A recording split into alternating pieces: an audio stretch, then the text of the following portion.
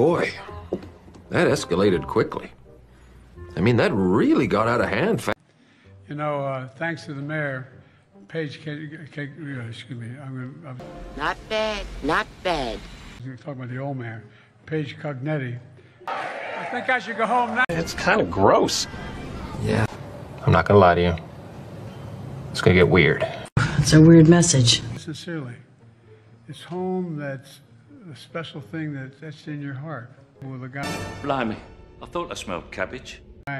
who was sort of the uh, the David Broder of the of the Pennsylvania Drama. Fred, the Scranton Press of the of the Pennsylvania Fred, Scranton Press. They'd come in. Okay? It is weird. Well, we're waiting.